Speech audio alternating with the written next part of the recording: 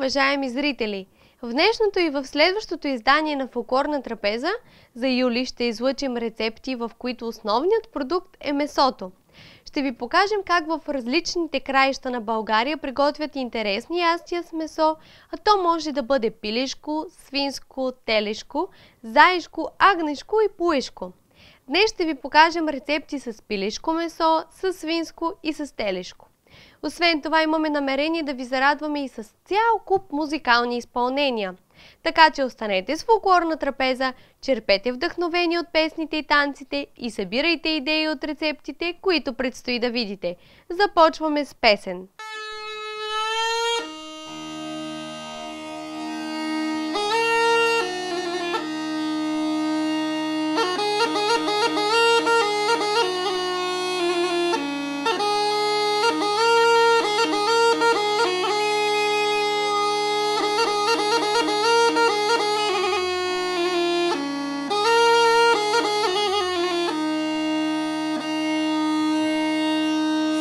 Ночи си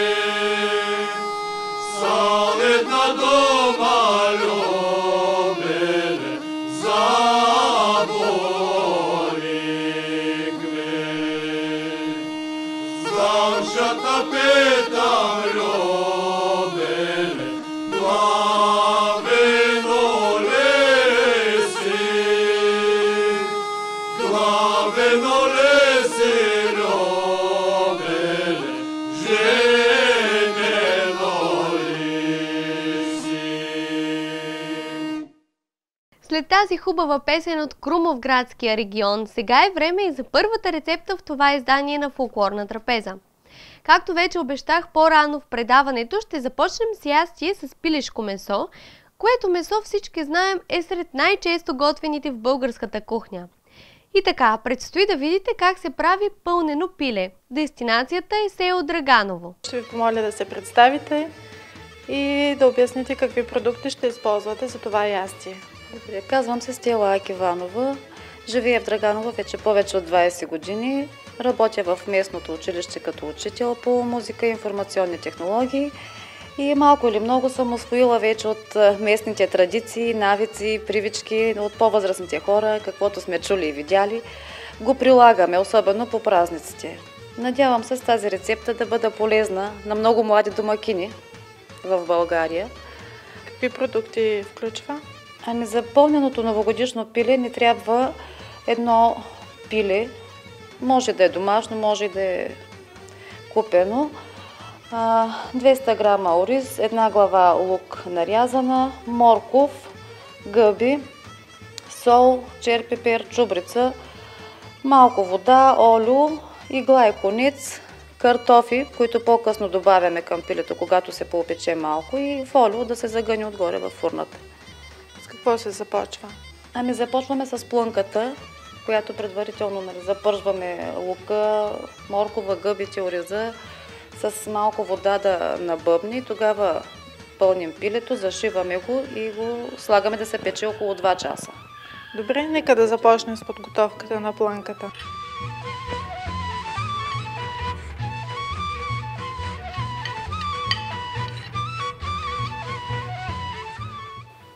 Всичко тук ще се подготви в полуготовност, да. няма да е съвсем наготвено, нали така? В полуготови. Да, ориза да набъбне леко. Ще добавим и малко сол. Аз лично предпочитам да е малко по-безсолно и всеки да си посоли после, отколкото пък да е пресолено. А пък после и самото пиле малко ще посолим.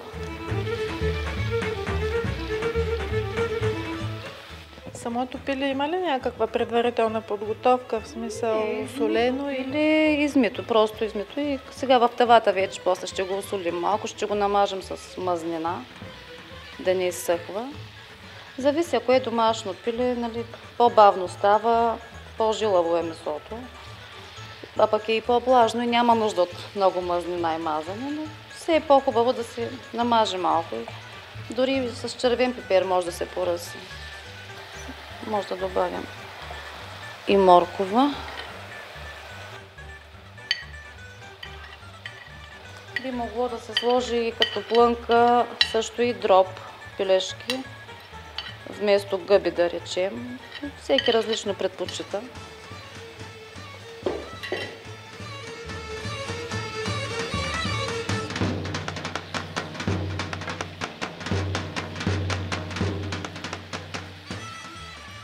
Какво друго може да се напълни по същия начин? Какви други птици Ами, или... Аз лично в къщи от много години се кърваме и пълним заек.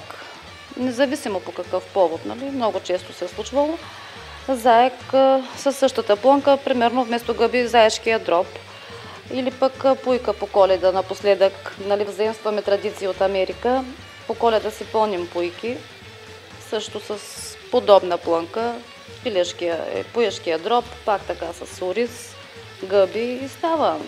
Особено тия пуйки, които са сега по хипермаркетите, те бързо се опичат и не им трябва чак такова печене или пък варени.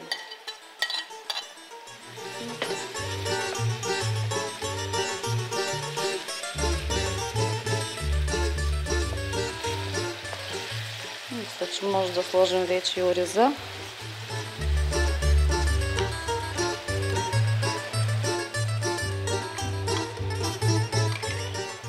Може винаги плънката точно да се прецени дали ще е повече или по-малко, защото все пак всичко малко или много е на око. Дали ще е по-голямо пилето или по-малко, дали ще е точно 200 грама ориз или по-малко, всичко е малко относително. Но пък ако остане плънка, нали, случвало се и отстрани до него да се изсипи, пак се опича. Няма да остане. Вие ще използвате картофи като гарнитура към а, самото пиле, а иначе може ли върху нещо друго да се пече? подходящо върху кисело зеле, защото ако е по-мазно пилето, вкусява пък зелето с мазнината. Дори за предпочитане да е зеле. Сега малко водичка ще налия около половин чайна чаша, за да може да набъбне ориза. Сложим и чубрица.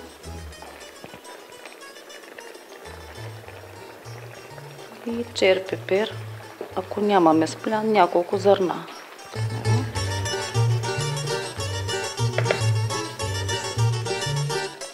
Плънката вече е готова. Добре изглежда на гъстота. Да. Добре, за да не изтича.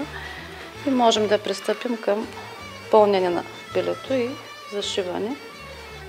Пълним, като внимаваме да не го натъпваме много, защото все пак да може ориза да си се опече, да не стане пък твърд.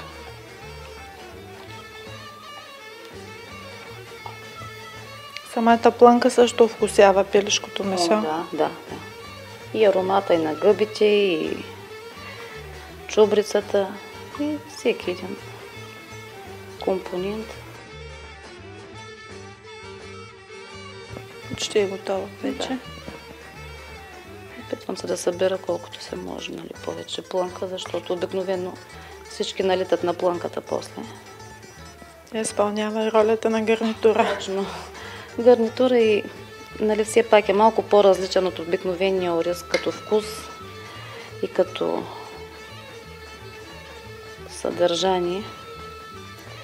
Сега да пристъпим към зашиване.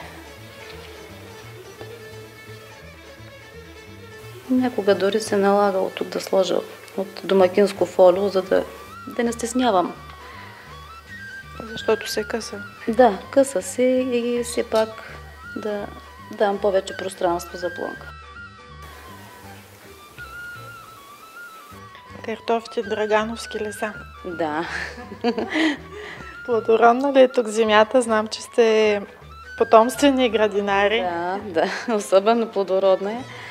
Драганово е известно с градинарите си в Европа. Село на градинари и поети. Не случайно има вече няколко книги издадени. под това заглавие. Отглеждаме се малко или много от всичко. А тази година беше ли плодородна? Да, би могло да се каже, че от всичко си имаме. И картофи, и лук, и домати, и от всичко. Мисля, че сме готови. Сега ще му вържем и краката, Защо? за да не се раздуе много ориза и да се спука пилето. Нищо чешето има и такава вероятност. И обикновено му връзваме крачката. Ей така. Като ги хвана. И тук съм си нагласила едно конченце, което да умотая. Така, да придържа клънката. Да не избяга.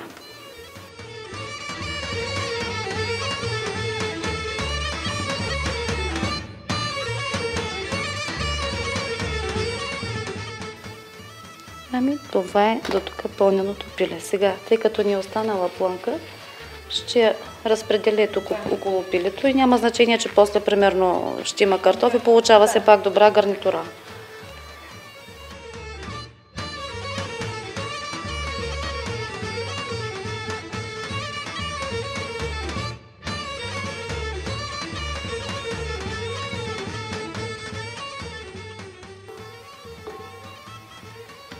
Сега с малко олио ще го полеем.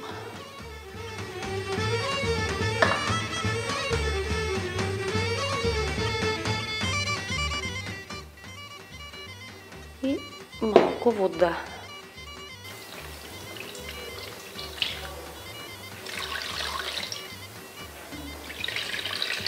Тя дори ще изври, но пък на картофите няма да им бъде излишна. Да. И да не забравя да го посоля и него.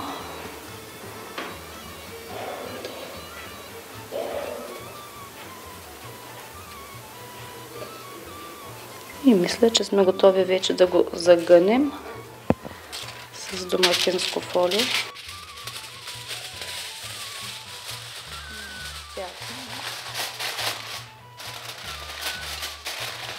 Вече в предварително загрята форма да метнем пилето. Общото печене е за около 2 часа, в зависимост дали е домашно или купено. А пък, примерно, след около час ще отворим да видим да сложим картофите.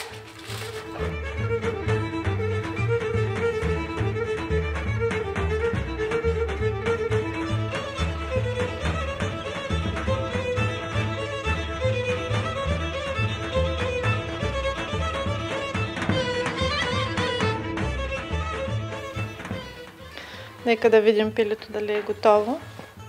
Надявам се да е почти готово, за да може да сложим картофките и едновременно да станат равномерно изпечени. И пилето, и плънката, и картофите. Сега съвсем леко да отстраним. Ага. Да, Изглежда много добре. Изглежда даже почти готово. Много малко му трябва. Сега ще сложа картофите отстрани. Самите картофи ще ги овкусявате ли? Да, малко сол, чубрица, черпипер. Някои може да сложат примерно и червен пепер, ако обичат, примерно по-червени ястия. Или пък други подправки. Мащерка, ако някой обича. Според вкуса и предпочитанията. Всяко домакинство Да, си има да, любими точно. подправки. Така е. Заредим. Имаме достатъчно водичка. И да ги овкусим малко. Дори мисля, че няма нужда да слагаме пак фолиото, само ще го сложим така.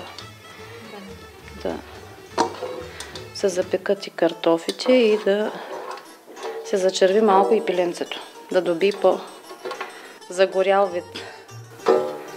И тен. Така, сега малко сол. Картофите поемат повече Да, сол. да, да. Ами всичко е на, на око, на, на вкус. Може би малко водичка ще трябва да налием, се струва, за да може да умекнат. Малко черпипер.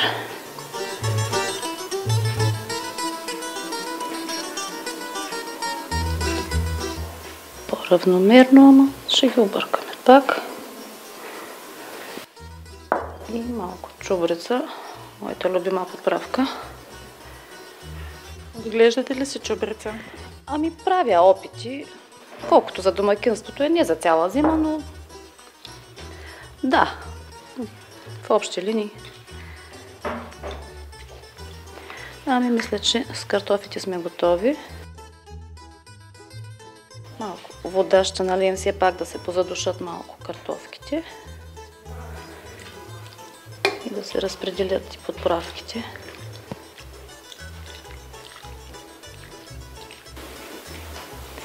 Можем да я върнем в фурната.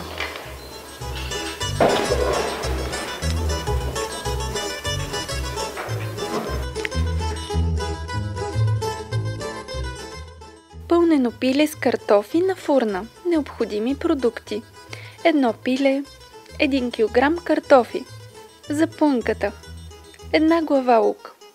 200 г ориз. 200 г гъби. Един морков. Сол, черен пипер, чубрица на вкус. 3-4 супени лъжици олио. Половин чайна чаша вода.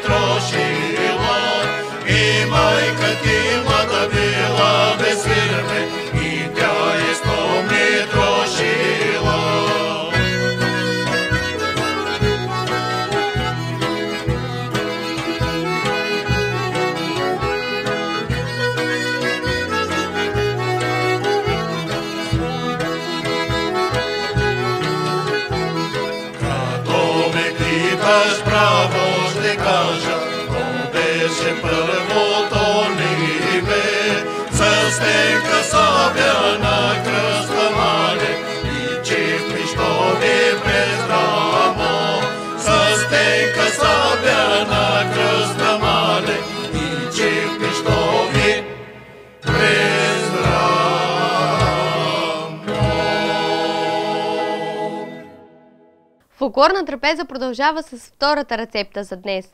Тя включва свинско месо. Наред с пилешкото, то също е сред най-често консумираните меса от нас българите. Дори въпреки широкото разпространено мнение, то се оказва не чак толкова вредно. Утешително звучи следната информация. Свинското месо е добър източник на витамините от групата B и по-специално на B1, B2, B3, B6. Черният дроб има по-големи количества от витамин B12, както и масно разтворими витамини. Сред минералите преобладават фосфора и цинка. За съжаление, с това изчепват здравословните ползи от свинското месо. Ето и рисковете, които поемате, ако прекалявате с свинското. Висок холестерол, по-трудна освояемост в процеса на храносмилане, висока калоричност. Въпреки това подчертавам, умерената консумация не е опасна. И сега ето обещаната рецепта с свинско месо. Видеото е заснето в русенското село Стърмен. Вижте как там приготвят свинско, сорис и булгур.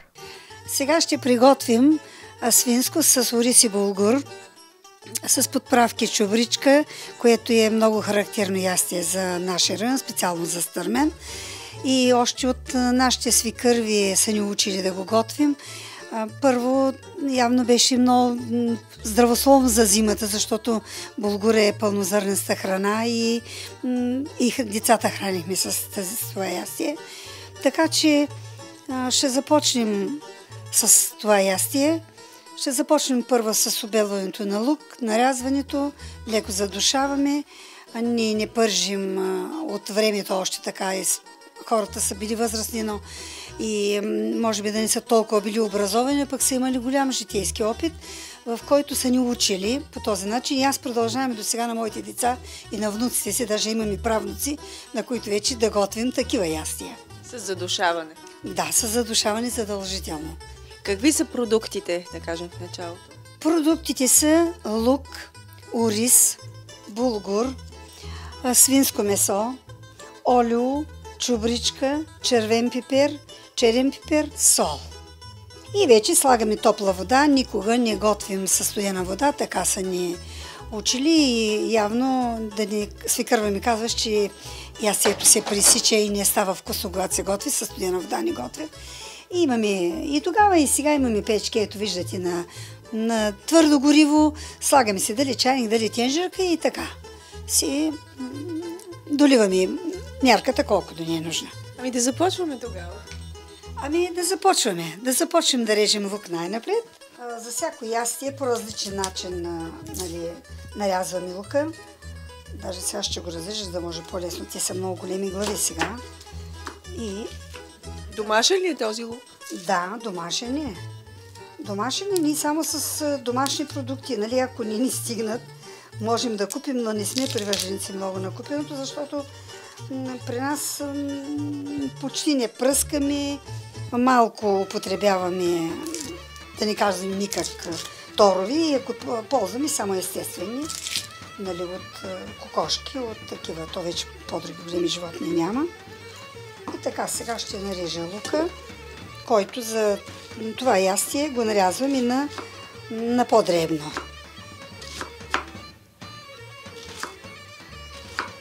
Ето сега това вече е достатъчно като големина.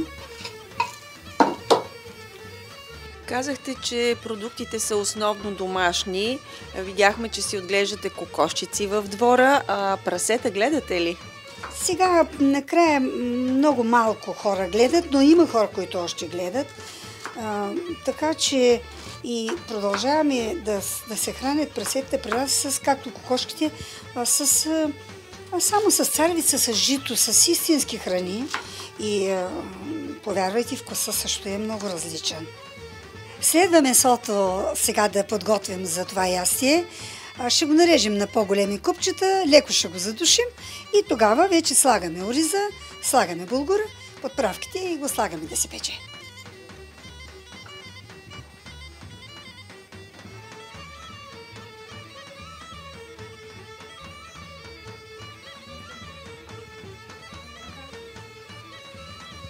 Сега трябва да сложим лука да се задуши и след това слагаме месото.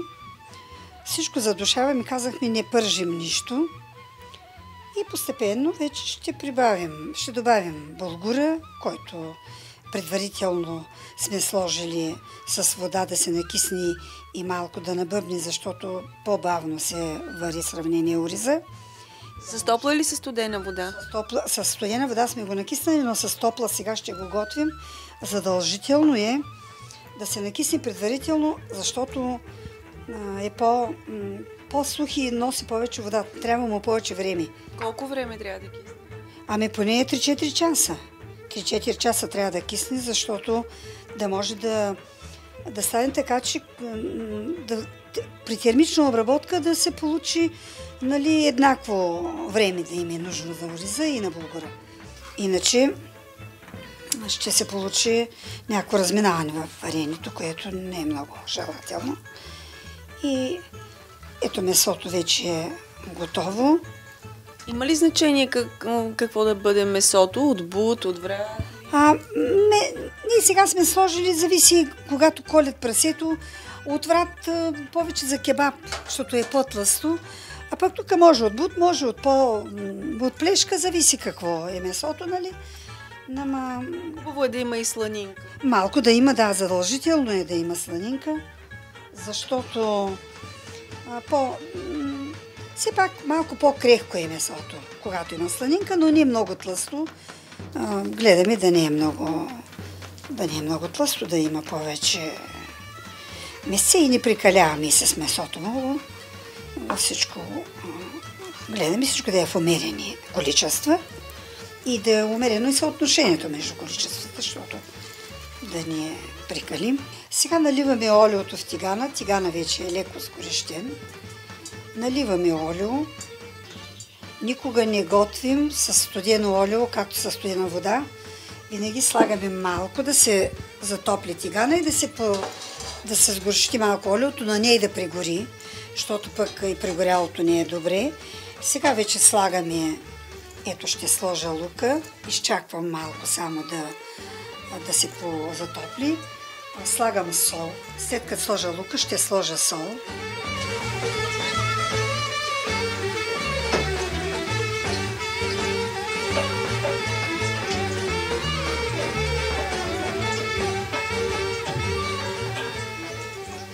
Слагаме сол и вече разбъркваме да се задуши.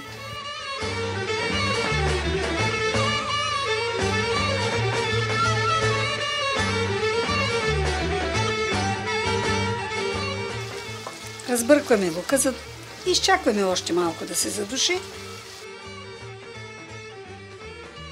Какво следва сега? Сега следва да сложим свинското месе при задушения лук и след това, като позадуши месето, ще го прихвърлим вече в тавата.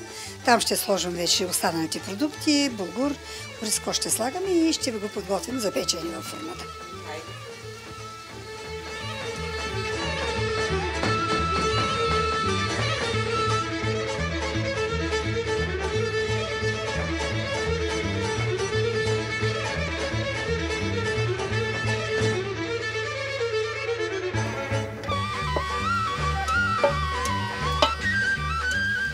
Колко време му е необходимо? 20 на минути ще се задуши и вече то ще, ще ври в, в бульона, който сложим. То ще се получи хубав бульон от месето, а топлата вода, подправките. И така, сега малко ще го изчакаме 20 на минути да се задуши и после ще прихвърлим в по-голяма тава, където ще бъде основното ястие вече.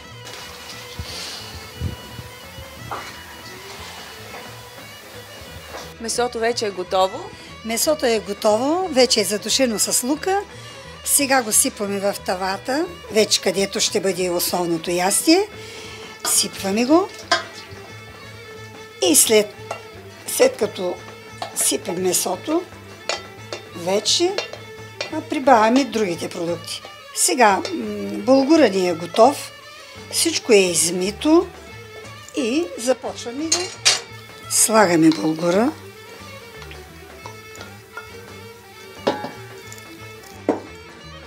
Слагаме лука, а, ориза и ще го смесим сега. Ще го разбъркам добре, да може да се смеси.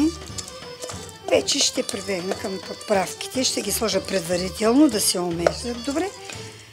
Да ни, после като сложим вода, не може да се слагат подправки, защото само плуват и могат да овкусят ястието. Това е важно да се знае. Да. На тънкост. Това е важно. Сега разбъркваме, да може да смесим всичко да се получи до, до хомогенна смес. Сега вече слагаме черпепер. Не прикаляваме с нищо.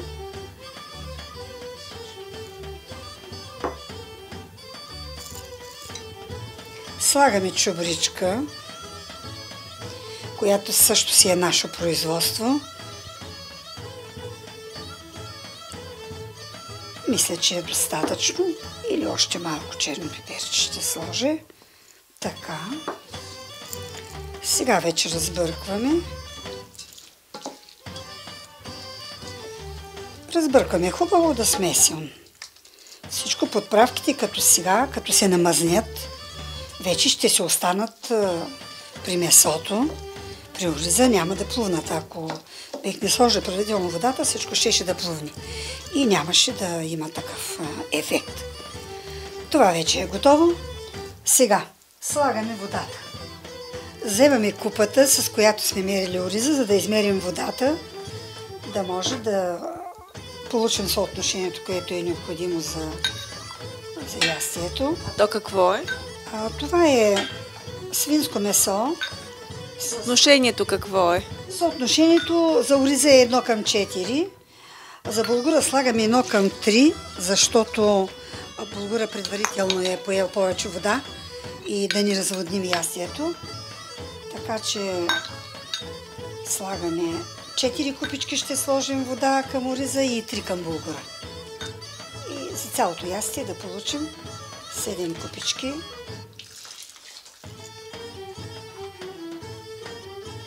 Когато готвим ориз и булгур, винаги разбъркваме да ни залепне на дъното, водата да не остане отгоре, още 4 черпака ми трябват и трябва да опитаме дали е достатъчно овкусено и на соло и на всичко три. Ето последно. Така. Ето сега вече ястието е готово да го слагаме във фурната, да се запече. Тук около един час ще се пече и ще бъде готово. На каква температура? На 180 градуса, най-много на 180, по-бавно, за да може да поеме от бульона, нали, да ни е да не е толкова на висока температура. А какви други ястия с булгур приготвяте тук? Сърмички по- приготвяме, чушки, а, даже ни по нашия край на червените сухи чушки им казваме раки. И също много и много други ястия, но специално тези са най-характерни. Сърмичките, чушките, това ястие, свинско с булгур и с ориз. И иначе правеха на времето много зели, м, киселозели и пускат вътре или на шепа ориз, или на шепа булгур, защото нямаше ориз тогава. И така, при нас много се ползваше и ние въпреки всичко, въпреки модерните времена и сега си ползваме булгур. Придържаме се към по-пълно заместни храни. Добре, да го сложим сега да се пече. Ориза, месото и булгура са опечени. Опечени са вече и са готови за сервиране. Само ще сипим в една чиния да се опита, надявам се да се е изготвило добре. Всички да са гладни и да им се види хубава манджата. Това е, това е лесно за приготвяне. Зимна манджа е. Сега ще сипим да може да изтени малко манджата, така че всички да хапнат и всички, които им харесват, да си приготвят по нашите рецепти. Стари, много стари български рецепти. И деца, внуци, възрастни, всички да хапват. Да не е мазно месото. Ето ние сложихме по-малко месо, повече ориси и булгур, защото а, по-малката консумация на месо може би вече е по-добре. Ето всичко е готово. Благодарим много. И също благодарим. Живи и здрави всички. И да се срещаме по-често. Да готвим и да се виждаме. Свинско с ориз и булгур. Необходими продукти. Свинско месо 1 кг. Лук 2 глави. Булгур 250 г. Ориз 250 г. Олио 5-6 супени лъжици. Сол, чубрица и черен пипер на вкус. Вода. За ориза 1 към 4, за булгура 1 към 3.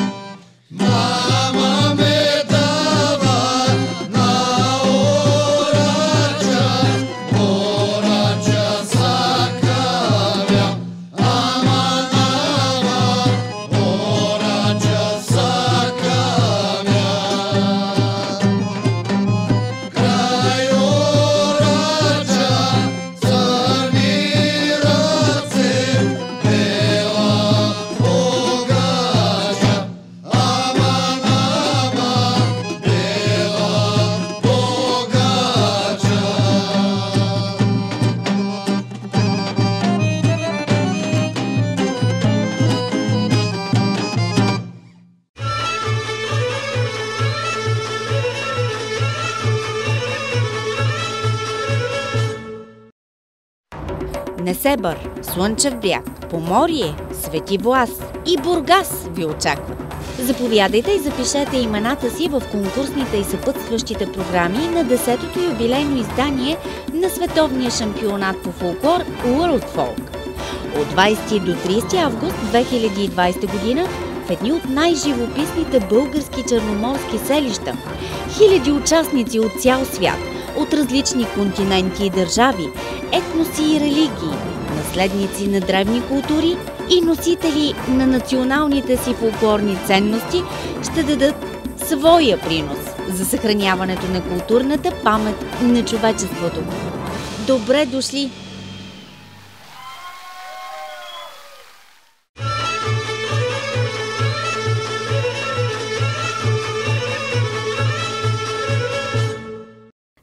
Втората половина на фолклорна трапеза ще ви представим рецепта с телешко месо. Телешкото месо е богато на протеини, витамини B6, B2 и B12, селен, фосфор и ниацин. Също така е мощен източник на желязо и цинк, които подпомагат поддържането на нашето здраве. В телешкото месо има несравнимо по-малко мазнини от свинското. Сварено добре то може да се консумира и студено, което е много удобно при диети. При готвенето му трябва да се внимава да не стане прекалено твърдо и сухо. И така, вижте една от рецептите емблеми на Горноряховския край. Така нареченото Горноряховско гърне.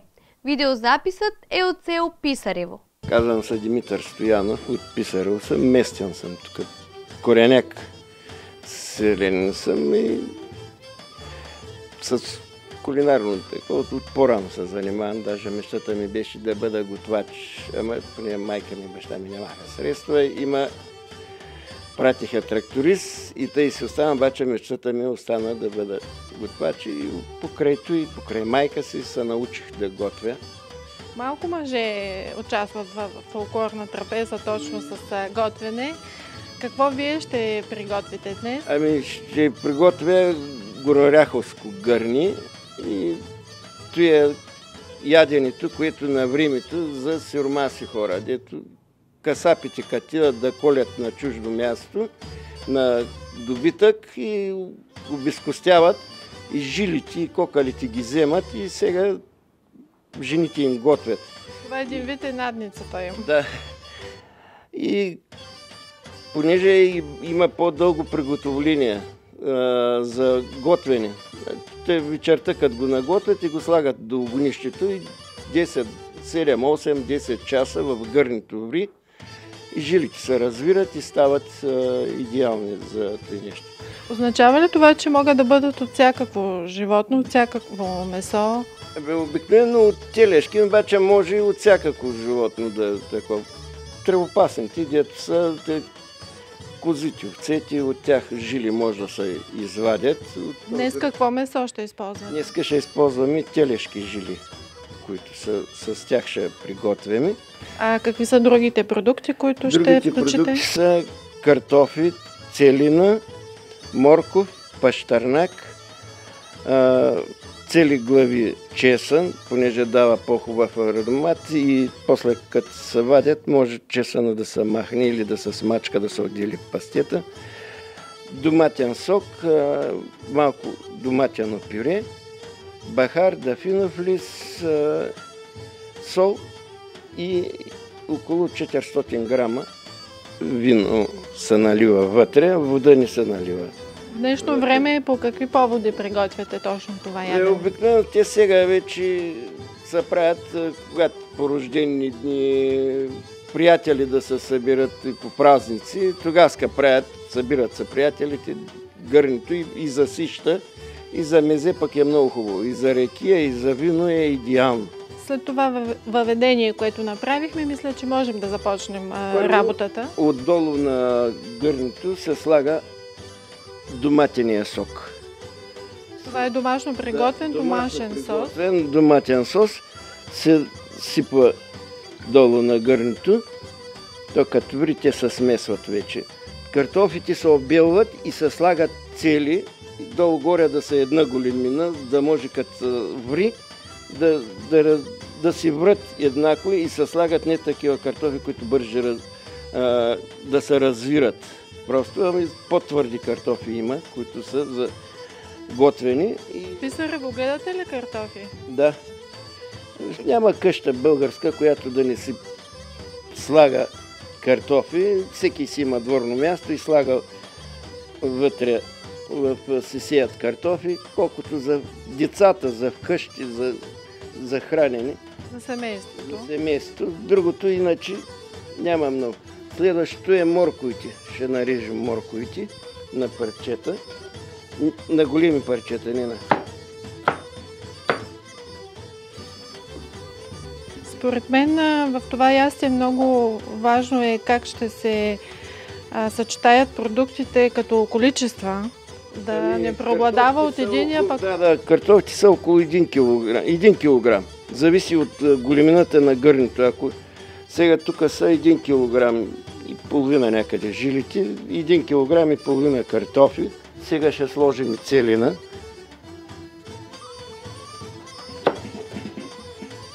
все здравословни продукти. Да, да. Тя и заради това става вкусна, защото се слагат а, се корена, целината, моркова са полезни и като билка същевременно. Сега ще сложим и някоя друга гъбка. Гъбите се слагат цели. По дъното се нареждат тъй ще сложим две главички чесън, също на дъното на Не се бели, не слага се. се така. лука, също обаче трябва по-дребен лук и ще го сложим на, ще го срежим на две. И се слага и той по краищата. Слагаме 3-4, а, две главички лук вътре също, моркова лука и след това слагаме жилите. Нареждаме един ред жили долу. По гърнито първо почваме от краищата и се нареждат. Продуктите се редуват, доколкото разбирам. редуват се, но жилите се гледа да останат по-на вътрешната страна, защото има, които е жилата, както тя после да си ври. Тя става просто като а, как да, като жиле става.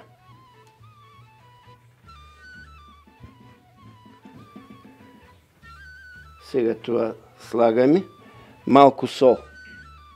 Защото иначе няма как да, да, да го... Сява се всеки път, Да, когато се с, подрежда. Сол се слага. Се вкусявате и долу-горе. Той има, понеже и в а, доматения сок вътре има в него а, чакай, чакай. Сол, да. сол и да не... те- Сега ще сложим по 4-5 а, зърна черен пипер, бахар 3-4 зрънца, Много- Всички продукти са сурови, това Да, да. трябва да кажем Сурови също. се слагат, не са, няма никаква запръшка тук. И едно листо, ако е голямо, се раз... и се слага отдолу. Също в а, той. Тъй. И сега продължавате Сега- с втория ред. Втория ред ще сложим пащарнака. То с... Той придава един специфичен аромат на, на яденето, както морковите, целината. И това на пащарнака има един по-особен сладникав вкус, придава на, на самото ядене.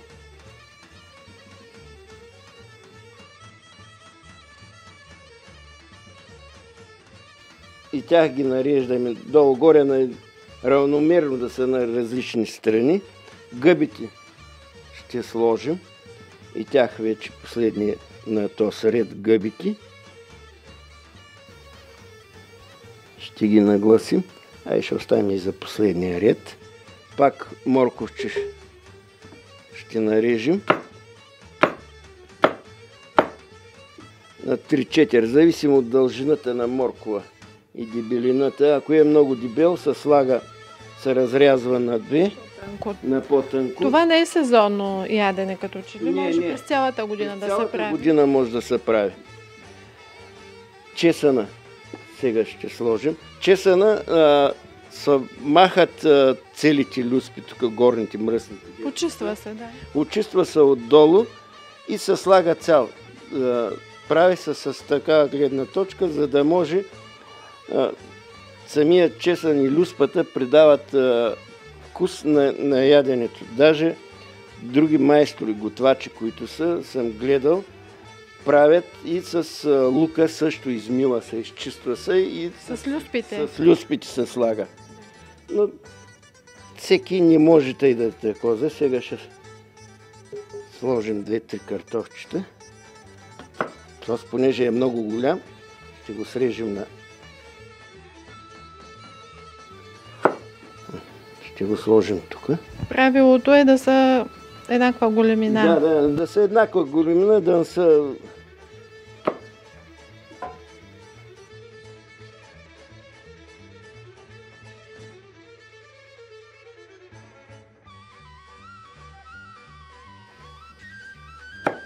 Сложим, после ще остане за най-отгоре. И тя се нарязва на по-древни, тъй на средни долу-горе парчета. Целината е малко по-твърда и под, а, като коя остави много голяма, по-трудно ще ври. Тя толкова дълго време, но не е нужно да се слага толкова с, на голямо парче. Сега ще нар... Започва наредим, а, третия ред. Третия ред. Жилите вече слагаме последно.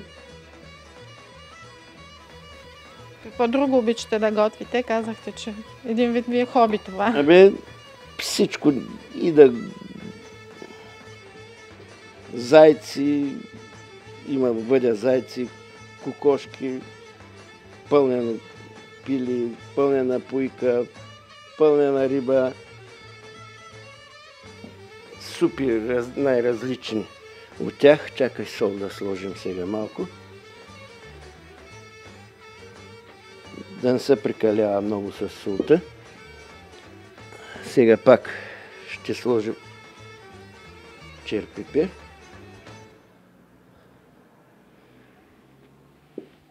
Бахар 3-4 зранца. Пак не се прекалява с него, защото той дава една тежка миризма, тежък аромат, който не всеки го обича пък да вари. Дафиновия лист. И сега вече завършваме отгоре последния ред зареждане. Той лук е срязан и ще го сложим тъй. Останалите тос ще го нарежем. И него. Лука и той придава сладника вкус. И обира, понеже жилите си пускат и те една мазнина говежда, мазнина, която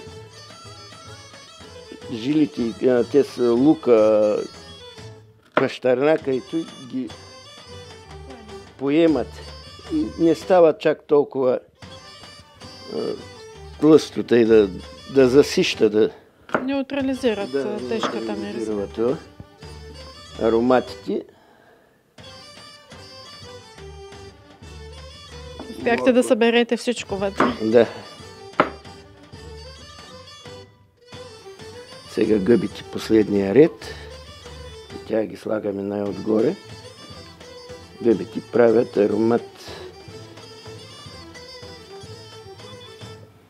Пък речем да се събираме приятели, правим и печени глави, телешки, пълнени с различно. Какво остана да добавите към... Сега остава Гърнето. доматено пюре или лютеница а, се слага. Тя също домашно приготвена. Да, също домашно приготвена и в нея, за да може да се разбие, се налива около 400 грама а, вино. Друго нищо не се слага. Около 400 грама вино се налива и разбърква се, се залива и се зал...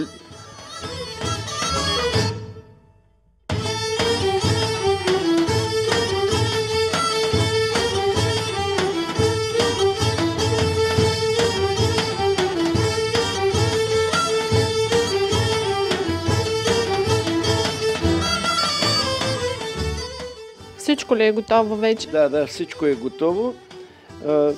Слага се капака и някои замазват отгоре, някои слагат С тесто. с Да. тесто.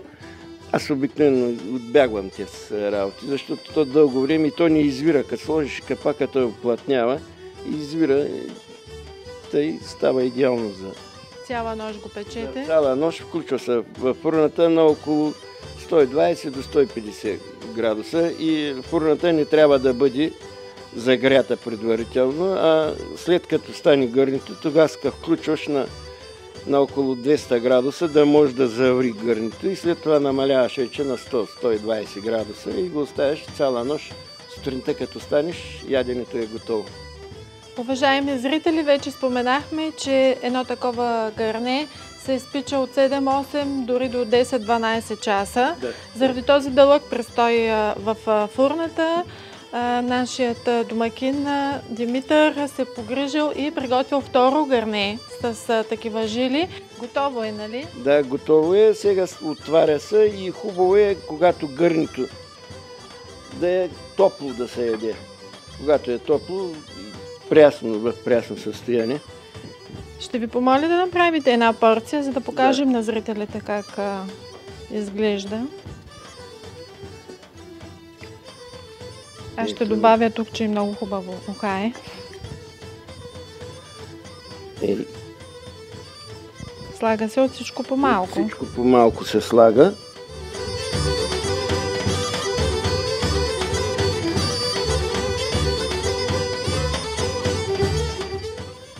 За красота и малко зелена подправка, в Малко случая магданос. Магданос, И целина за разкош.